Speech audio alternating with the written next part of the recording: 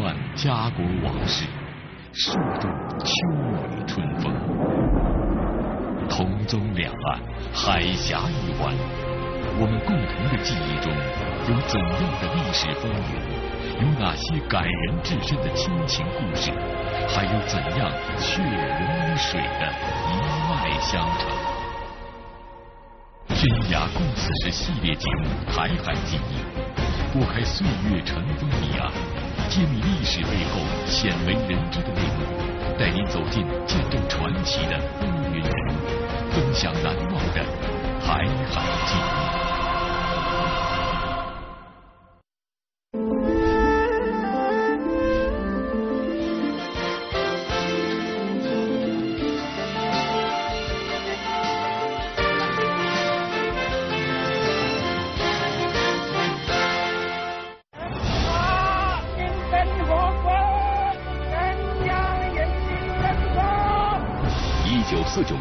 新中国成立，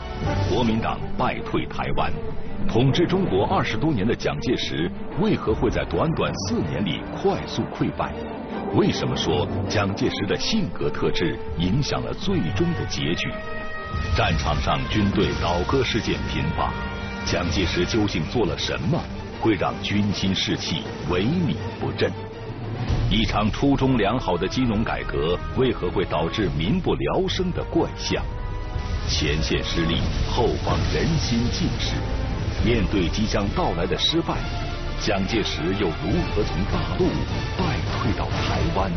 天涯共此时系列节目《台海记忆》，带你解读蒋介石失去人心、败退台湾背后的一段往事。大家好，欢迎收看《天涯共此时》节目，我是主持人桑晨。一九四九年是中国近代史上最被关注的一年，这一年呢是中国人民解放战争取得伟大胜利和宣告中华人民共和国诞生的一年。而对于蒋介石领导下的国民党来说，这一年是兵败饮恨、落逃台湾的转折点。也是一九四九年的这一变局，造成了后半个世纪海峡两岸的长期对峙。那么就在这一年时间里，蒋介石本人又是如何经历了这场历史变革？背后又有哪些鲜为人知的内幕呢？那今天呢，我们现场就为大家请到了来自浙江大学蒋介石与近代中国研究中心主任陈鸿英教授和来自台湾中央研究院的黄克武先生，请他们来为我们揭开这段历史背后的秘密。掌声有请二位。您好，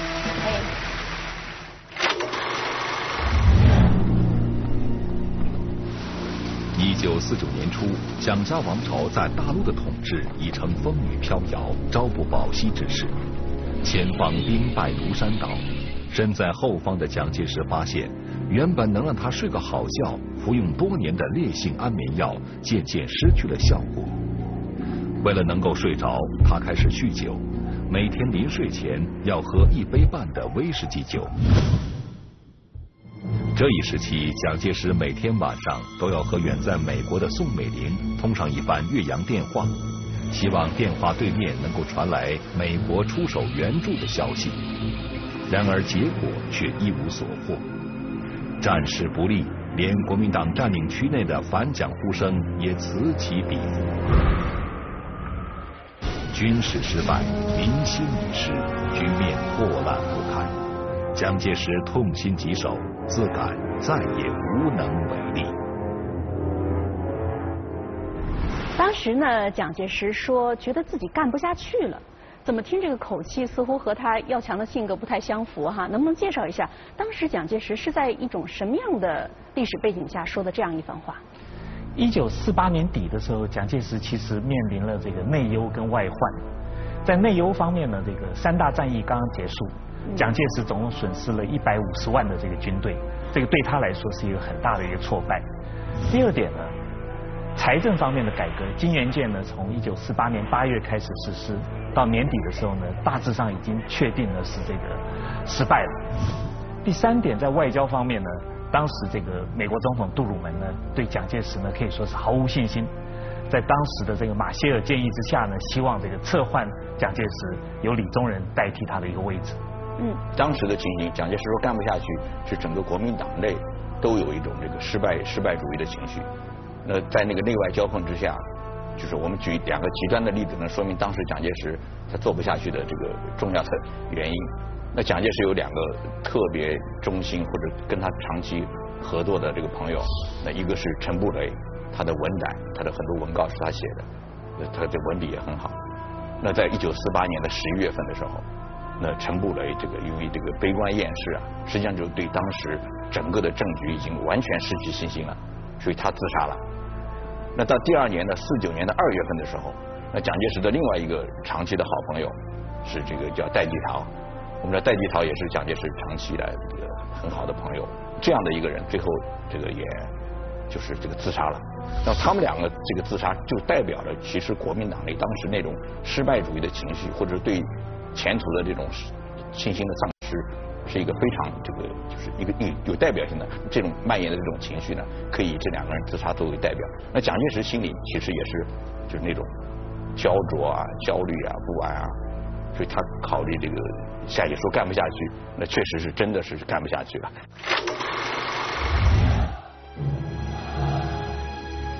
万般无奈之下，蒋介石于一九四九年一月二十一日正式宣布隐退。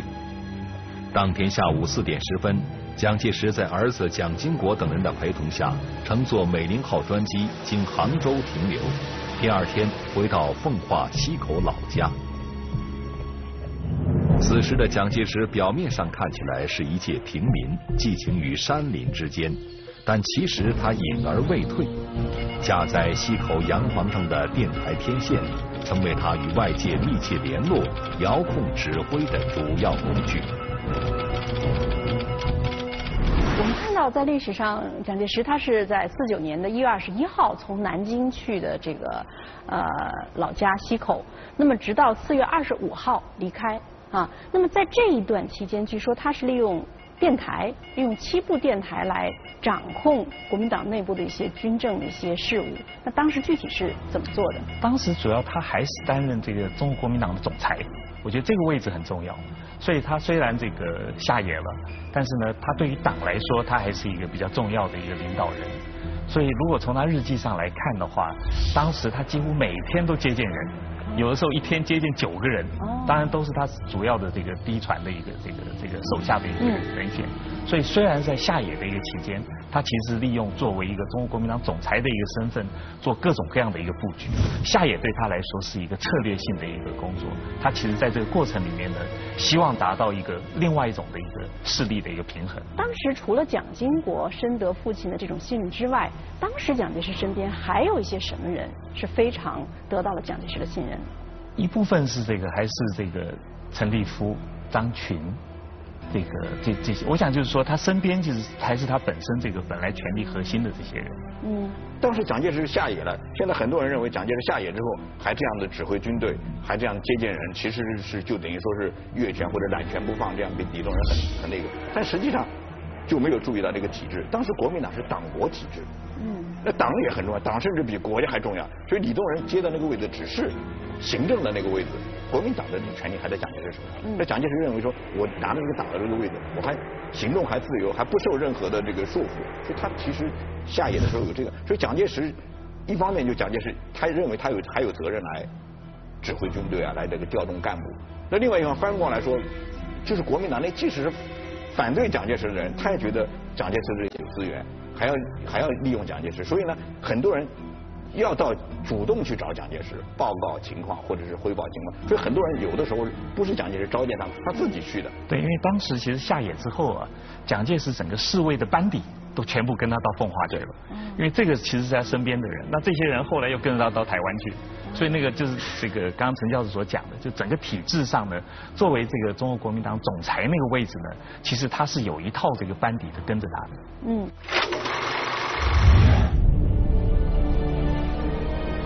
在一般亲信的帮衬下，蒋介石准备为逆转大陆局势做最大的努力。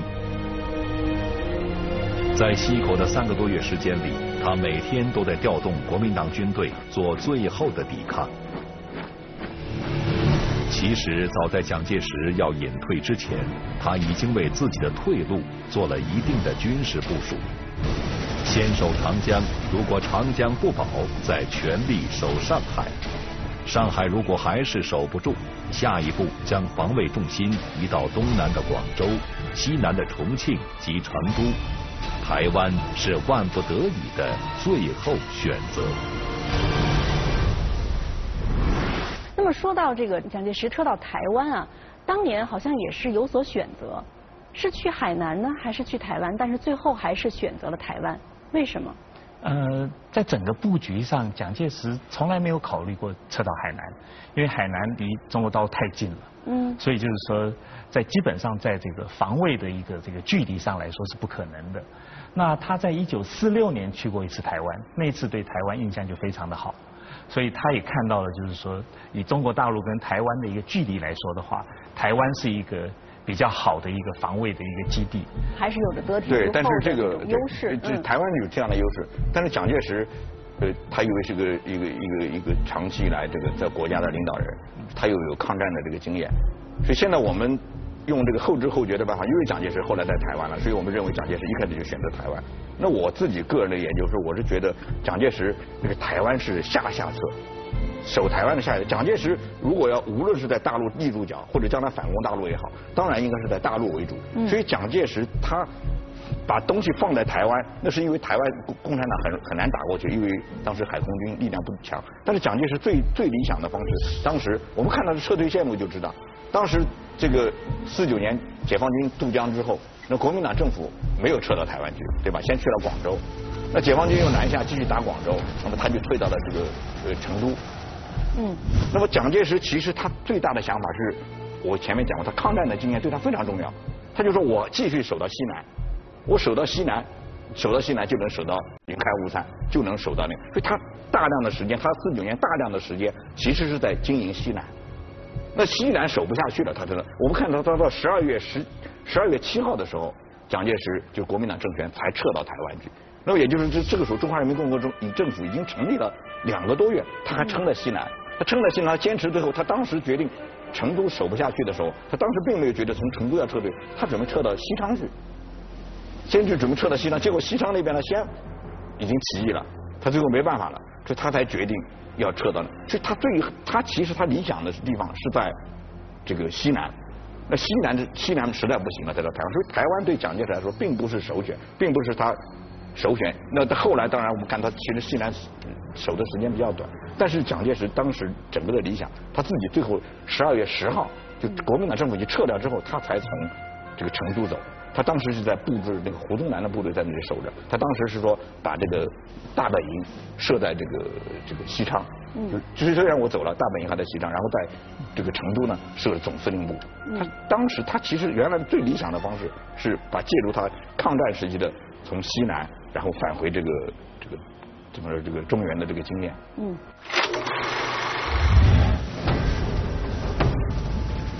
一九四九年四月二十三日，人民解放军突破蒋介石精心策划的长江防线，占领南京。国民党的江南半壁江山已经支离破碎。心急如焚的蒋介石立即在浙江定海举行了紧急军事会议。在会上，蒋介石用心良苦。一上来便引述了孙中山先生的遗训：“外战不出川，内战不出湾”，以表明自己撤守台湾是源于孙总理的伟大思想。会议结束后，蒋介石立即拍板撤守台湾，建立反攻大陆、复兴党国的基地。那么，蒋介石在迁台之前又做了怎样的一系列部署呢？蒋介石自己在下野之前，嗯，他做了就很多的这个部署。那其中一个跟台湾有关系，我们后来推进推往前推的时候，觉得他这个这个特别重要的这个策略，就是在在台湾的这个军政方面，第一个就是让陈诚做台湾省主席，然后做这个蒋经国做台湾省党部国民党台湾省党部的主委。那这两个都很重要，一个重要是陈诚是蒋介石的一直是非常亲信的一个将领，那么他后来有跟蒋介石关系很好，一直这个帮助蒋介石守住了台湾，嗯然后建设台湾。那蒋经国呢，之前的时候大概还没有做到那么这个我们就是省部级的这个官员，他先一下子就做到了这个台湾省党部的这个主委，那么也走到了前台来。其实蒋介石任用陈诚做台湾省主席呢，还真是有偶然的，不是蒋介石处心积虑的一件事情。那为什么找到陈诚呢？这蒋介石第一手下完全没有人了，第二个是这个时候陈诚啊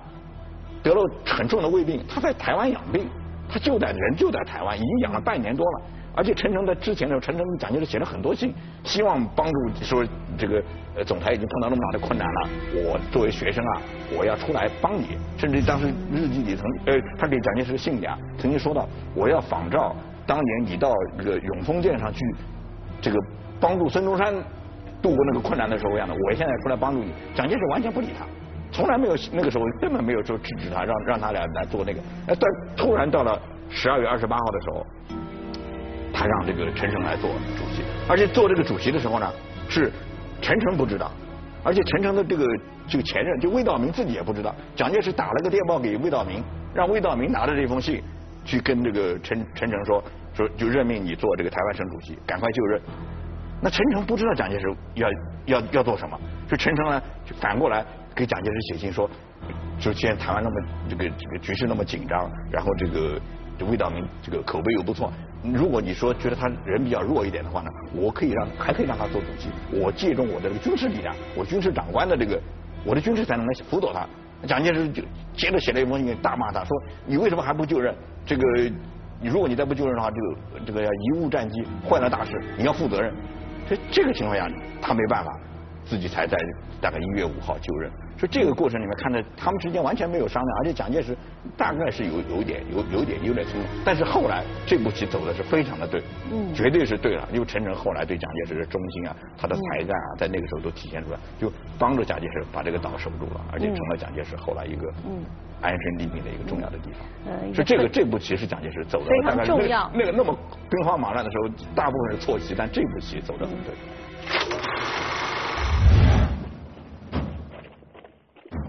面对复杂的局势，蒋介石只能孤独向前。他乐观的估计，一九五零年一定会发生世界大战。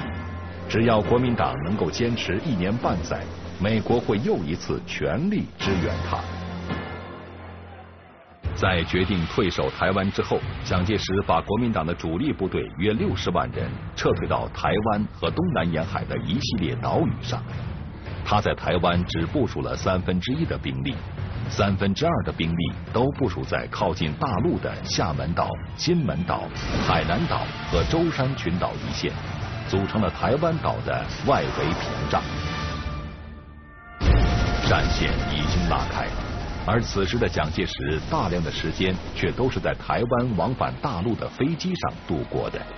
这又是为什么？在四九年的五六月间呢，我们也看到蒋介石他是多次啊往返于台湾啊和大陆之间做一些军事上的防务工作。那么呃一方面呢，可能想借此是不是来保存最后一点在大陆的地盘，然后拖延解放军进攻的这个进程。那同时是不是也可以借此让台湾有一个喘息的机会呢？问题就是蒋介石根本没有想，他就是想还是守住大陆，他不是想拖延，不是为了守住，就是拖延时间啊，或者消灭消耗解放军的力量，或者给台湾守卫台湾争取时间，他就是想在大陆能守住一个地盘。嗯，能守住就是保存最后那一点点的我们如果想象的话，后来的时候，国民党后来还有军队在打到缅甸，从云南打到缅甸，长期以来国民党的军队在那里，希望从陆地上反攻的这个机会还是有，所以他并不觉得，诶到了台湾，对这个他保存苟且生苟且性命啊，保存这个政权是有利的，但对他反攻大陆也不利啊。你反攻大陆，你从那个小岛上你怎么反攻整个大？所以对他这个情形，他他并不是那不是他的理想的，是他的下就我觉得是在他整个战略考虑里面是最后的就没有办不最不得已的一个下下策了一个下下策。另外一个就是。我们前面讲，就蒋介石，因为那个时候国民党在大陆上还有地方，还有可能性，所以他一直到十二月份，他五六月份的时候，那大西南西北，嗯，特别是西南完完全在国民党控制之下，那他还有这个那个就是这个胡宗南那么多部队，蒋介石对胡宗南这支部队特别看好，因为当时到到了西南，蒋介石撤退大陆的时候，他自己日记里写，我现在还有五十个师，那五十个师呢，其中三十二个师是这个胡宗南从这个西北长途跋涉一个半月，长途跋涉一千公里，在这个共产党围追堵截下面，他完好无损的带到了这个地方去。他是蒋介石认为这也是个奇迹，所以他准备蒋介石一直在西南就要部署这些部队，然后作为最后的这个这个方案。那蒋介石过去的时候就是想把西南的军阀，就是这个呃川西、滇西的人整合在一起，然后再把这个胡宗南的部队结合起来。那这样的话，就守住西南，守住西南就是又回到他这个抗战中间那个奇迹。将来通过这个国际形势变化了，或者是共产党内讧了这样的情况，他又可以有机会反攻了。他是那样，他那个时候来回的过，就是他还是想在大陆守住大陆。嗯。啊，是这样。对他那段子常其实常常来回台湾跟中国大陆，主要就是他不愿意一下就迁到台北，嗯，因为他从南京到广州到成都，事实上这意向非常的一个明显，因为如果一旦迁到台北的话，其实对于这个国际声望，对于国内明星来说的话都是不利的，所以他其实这个一步一步走呢，他那个布局就是刚刚陈宏明教授所讲的，他其实是台湾是最后最下的一个选择，嗯，他能够守广州，能够守成都，甚至能够守到西康，他都愿意。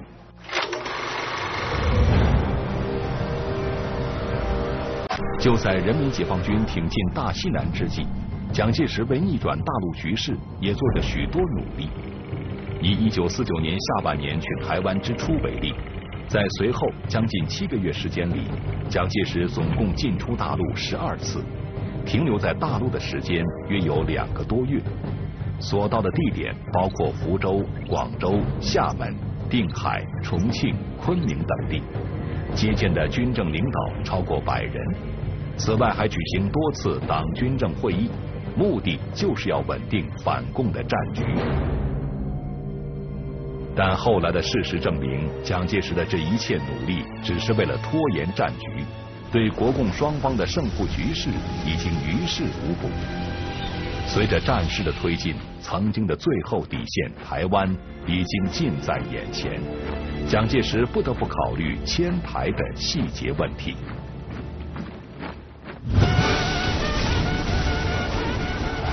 近现代中国波澜壮阔的历史。诉说着得民心者得天下的永恒真理。一九四九年，蒋介石第三次下野之后，人民解放军渡过长江。此时，蒋介石的退路究竟在哪里呢？一步一步的退，那他就在西南，当时想想想稳定下来。长江失守，西南失守，败局之中，蒋介石为何决定退到台湾？台湾共产党很很难打过去，因为当时海空军力量不强。在苦苦挣扎中痛定思痛，二十二年统治大陆的时代为何快速终结？蒋介石又是如何反思自己在大陆的失败？军事上是一个很关键性的一个东西，在街上的这个政治经济上的一个因素，特别是这个土地改革的问题。穿越历史风云，天涯共此时系列节目《台海记忆》，为您展示蒋介石失去人心、败退台湾背后的故事。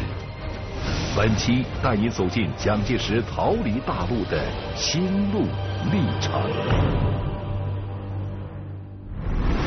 那我们说一说，当时蒋介石迁台的时候，他为什么没有从大陆直飞台北呢？而是绕道了一些地方，是什么原因？出于安全考虑吗？呃，那蒋介石这个蒋介石飞台的那个契机，就是他从呃奉化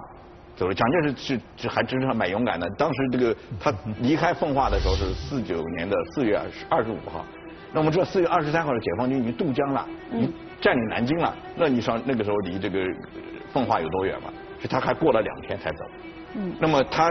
到了他他当时他认为他因为汤恩伯的部队是他也是他的一个非常亲信的一个嫡系，他认为能在这个上海能守住。我前面已经说过，蒋介石一直想幻想，如果上海能守住，那整个军事上完全不一样了，因为上海这个这个影响不一样，而且国民党在一片的失败中间，如果能守住的话，那就整整个他就觉得是一个重大的转折点。但结果上海也没守住，所以没守住到五月份的时候他就。飞那个澎湖，那飞澎湖的那个目的现在看不出来，他当时他为什么这样考虑？但是考虑的就是能够能够推想到的一个结果，就是当时因为这整个的这个沿海的作战刚开始，就是打到上海，解放军打到上海之后，才开始打这个就是福建和浙江的沿海，然后再去攻台湾的这个，按就是这个步骤。所以这样子的话呢，这个呃就是蒋介石在澎湖的地方就对指挥沿海的作战是应该是比较有利的，这是一个一个考虑。对，我觉得对蒋介石来说，他并不是一开始就打算往台湾跑，他其实是有一个整体的一个东南的一个布局。所以从这个离开上海，然后到澎湖、到高雄，再到台北呢，其实最后呢是在六月底，他要开一个东南军区的一个会议，那个其实是一个比较重要的一个军事布局的一个会议。那他整个布局呢是可以说环绕着这个东南到西南这条线。嗯，蒋介石他在这个就是四九年的这个整个的战败的过程中间。蒋介石心里是每一次都认为这次能打赢了，他没有说我一退千里，我每一步他都想打赢，打了这一步不行，他再往后退。他虽然战略上是有考虑要退，怎么退，但是他每一次都没有说主动要退，就是说要打，在这个东南沿海也要打，他而且做了很大的这个，花了很大的力气让陈诚他们去去做，所以他每一步，包括广东的时候，包括海南的时候，包括这个西南的时候，他没有哪一次说，哎呀，我们最后反正已经确定守台湾了，我们就撤吧。不是这样的，所以他把这个不，所以那个时候他到那个地方的安排也是一步一步的。蒋介石为什么不肯去呢？是因为他直飞台湾的话不安全，因为当时是这个美国人，这个甚至跟陈诚暗示说，如果。呃，这个来的话把他抓起来，然后美国人支持陈诚取代蒋介石，那这个是这个这个事实是有的，但是这个不是美国政府的这个决策，是美国国务院有些官员跟陈诚有这种意思的表示，因为美国政府从来都是多样化政策的，就这个政策不代表美国政府的人。那翻过来说，陈诚对蒋介石非常的忠诚，这个事情呢，陈诚告诉过蒋介石。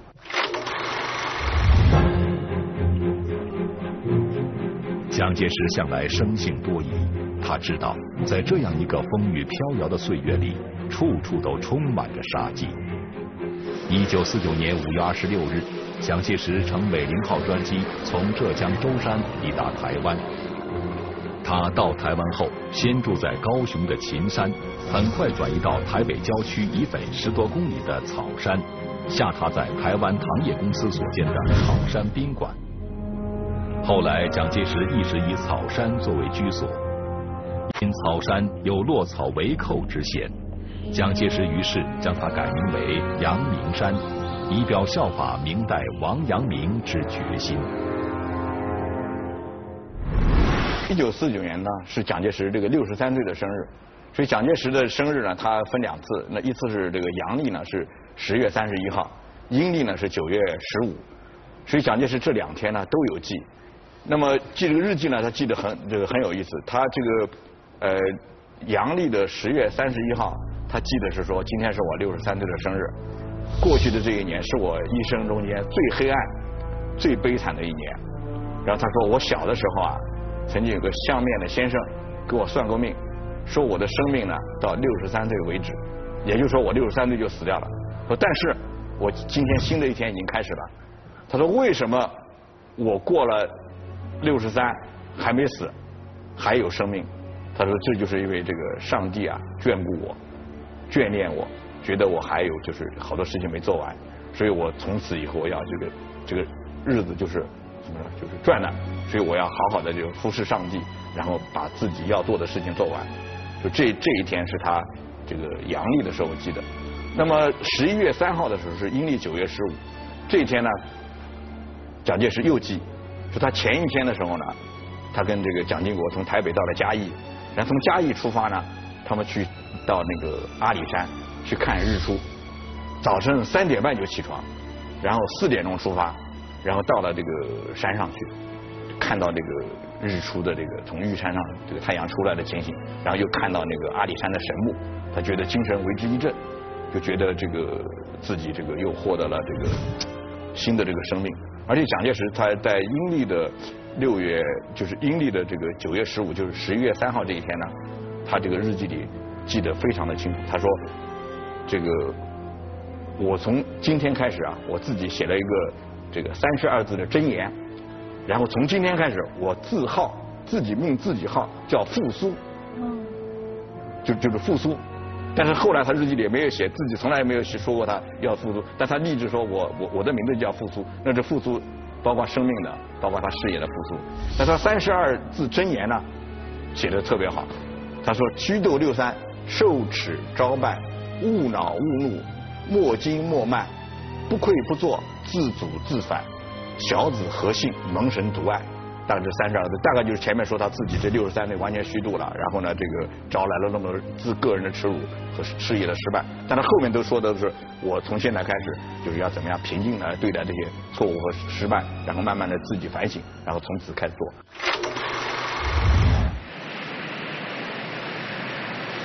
一九四九年十一月十四日，蒋介石从台北回到重庆。半个月之后，十一月二十九日下午，解放军刘邓大军的先头部队已经逼近重庆近郊。当晚十点，蒋介石在蒋经国的再三催促下登上专机，但是，一直到十一月三十日的凌晨两点，蒋介石仍执意不下令起飞。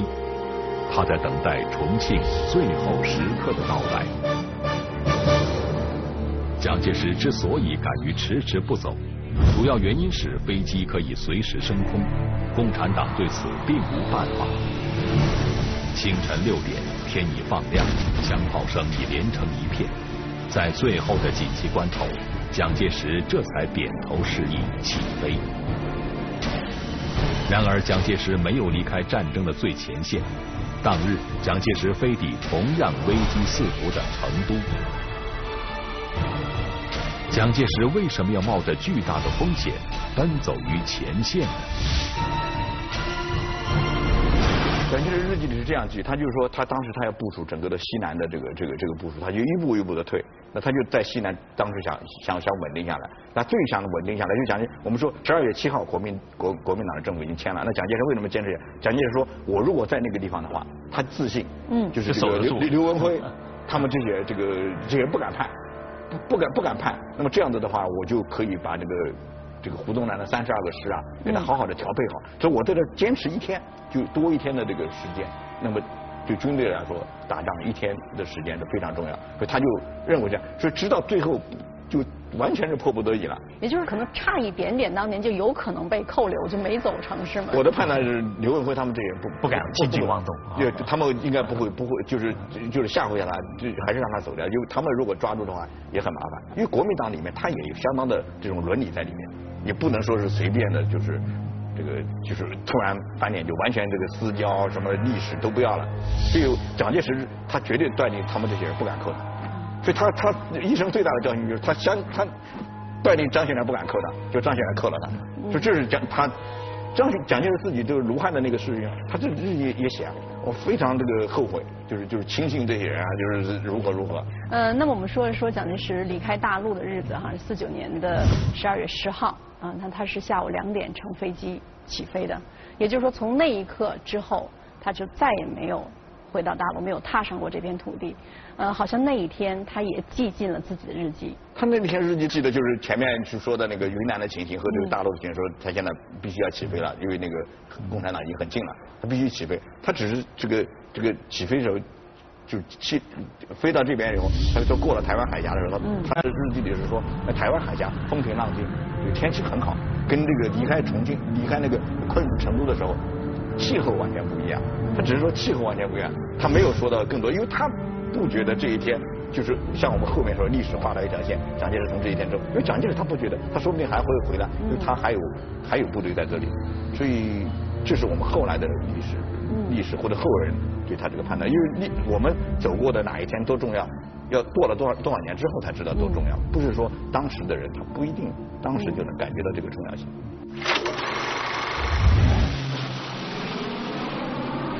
一九四九年十二月十日下午六点，坐在美龄号专机上的蒋介石从飞机上往下望去，眼底下已经是茫茫东海，整个大陆都远远的甩在身后。一股异常复杂的情感涌上蒋介石的心头。从一九二七年蒋介石在南京成立国民党政府。他已经担任这片土地上的最高领袖长达二十二年。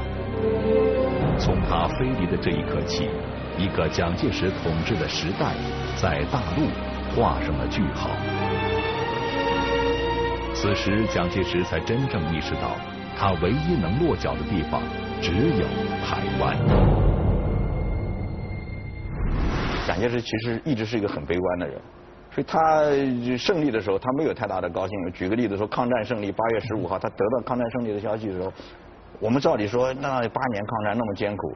他应该很高兴。但他那天完全高兴不起来，就写的写的是这个旧仇未报，新仇又来，就是好像这个什么事情没完成。所以蒋介石其实在他的日记里，我们大量看到这个失败主义的情绪也非常的，就悲观主义的情绪也很。所以你这，但是他同时又是一个很很坚韧、很坚强的这种个性，也不肯认输。所以你要是说他不断的说检讨国民党，这次又败了，那次又败，这都有。你说他总体上失败，他还从来没有认认识过。即使到了台湾，他也没认为他是彻底失败了。他只是到了台湾，只是他革命过程中间一个转折点而已。对，我觉得就是说，必须要放在一个过程里面来看，因为在这个过程里面，蒋介石虽然一直有一些挫败，但是他从来没有一个所谓的转折点，说今天以后我就放弃这个中国大陆了。嗯。事实上，在这个过程里面，他每一步都希望扳回来。嗯。因为蒋介石自己，我们知道他抗战中抗战的经历对蒋介石其实是非常重要。因为抗战的那个时候，讲国民这个日本人占领了中国的全部的那个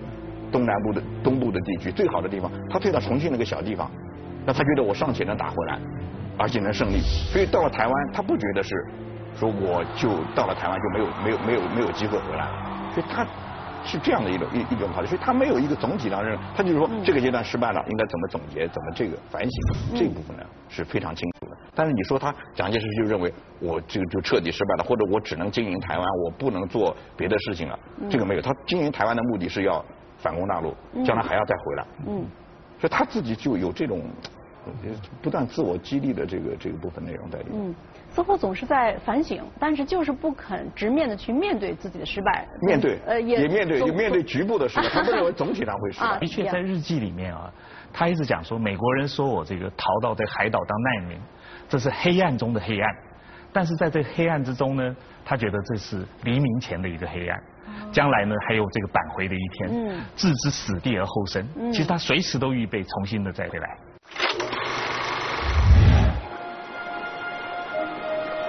一九五零年除夕这一天，蒋经国陪着蒋介石在日月潭荡舟垂钓，孤零零的小船随波漂流。此时父子两人的心情没有一丝一毫是在鱼上。蒋经国看到的父亲蒋介石已经鬓发斑白。过去近一年，蒋介石从幕后到台前四处奔波，心血费尽。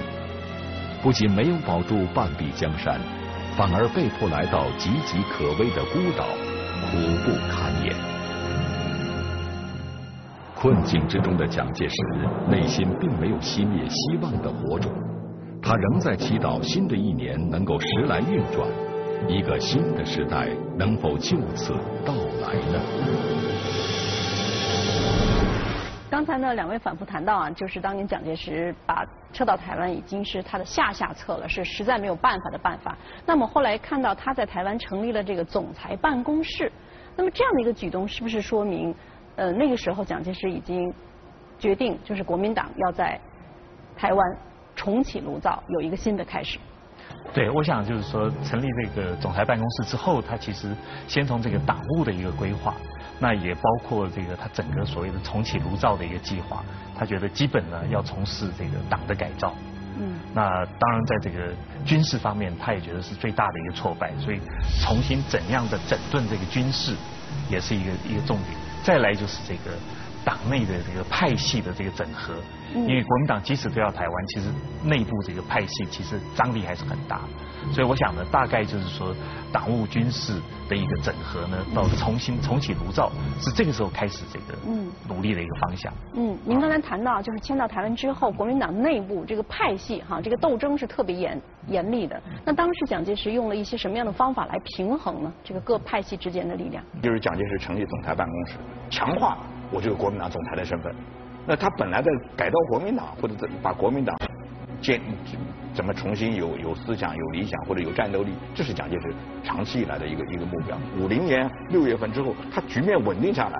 那他开始检讨大陆这个失败教训之后了，就是国民党内部的派系呢，那他是开始一个个收拾。那因为他地位已经稳定了，和这个四九年的兵荒马乱的时候，大家都在逃难过程中完全不一样。他后来整顿整顿国民党，做国民党改造运动，从五零年开始，到了这个五二年的时候，国民党这个弃权大会把这个事情搞定。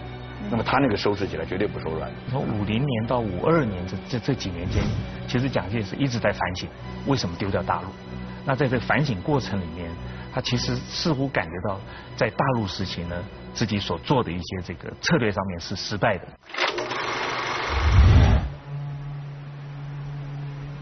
对于失去中国大陆政权，蒋介石感到相当内疚与自责。然而，他始终没有放弃对权力的渴望。一九五零年三月一日，蒋介石正式宣布再度复出。在不久之后的一次集会上，蒋介石对两千名国民党中高层干部发表演讲。他提出三点：一、虚心接受在大陆失败的教训；二、不惜牺牲感情与颜面，彻底改造；三。他自己将鞠躬尽瘁，争取最后胜利。二十多年来，蒋介石出现在下属面前时，一贯是板起面孔、教训人的形象。如今当众诚心检讨自我，与会的国民党高官心中不免百感交集。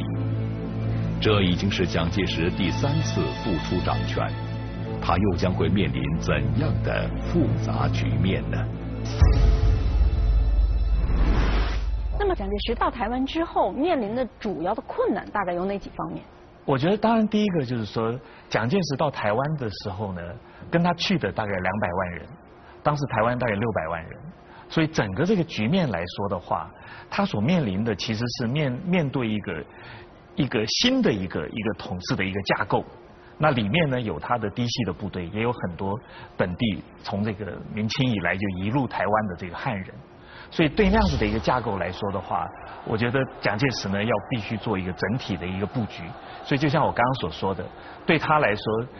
大陆的一个挫败是他毕生最大的一个挫败。所以从五零年到五二年呢，大概他讲了这个三四十次的一个演讲，都在反省为什么大陆失败。嗯，对他来说呢，这个。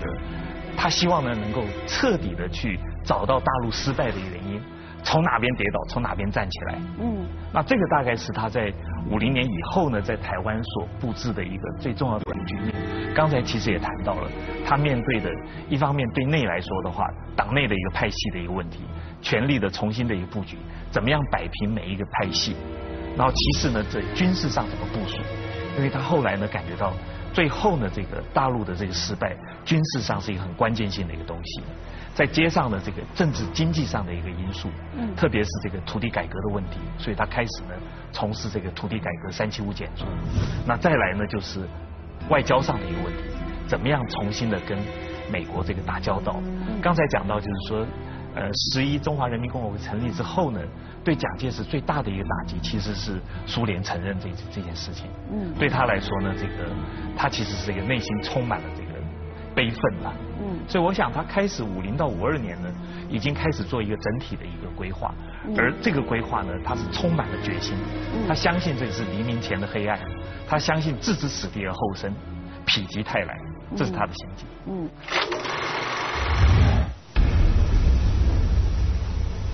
一九五零年六月二十五日，正在吃早饭的蒋介石得知朝鲜半岛已于凌晨发生了战争，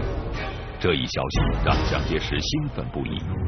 他望眼欲穿的第三次世界大战似乎已露端倪。六月二十七日，美国总统杜鲁门宣布武装干涉朝鲜内政，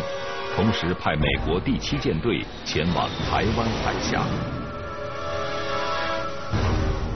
因为有了美国的保护，台海之战延缓了脚步，蒋介石成了朝鲜战争中的最大受益者，从此得以相对平安的开始二十六年的台湾时代。从抗战胜利开始，蒋介石一路败退，战场上节节失利，士气民心偏离自己，金融改革失败，民不聊生。痛定思痛，蒋介石在台湾开始反思，逐渐将统治的重心转向国计民生，台湾经济开始迅速发展。蒋介石失去人心、败退台湾的这段经历，和漫漫历史长河中的许多故事一道，诉说着永恒的真理：人民是历史的创造者，只有依靠群众、依靠人民，才能书写历史的辉煌。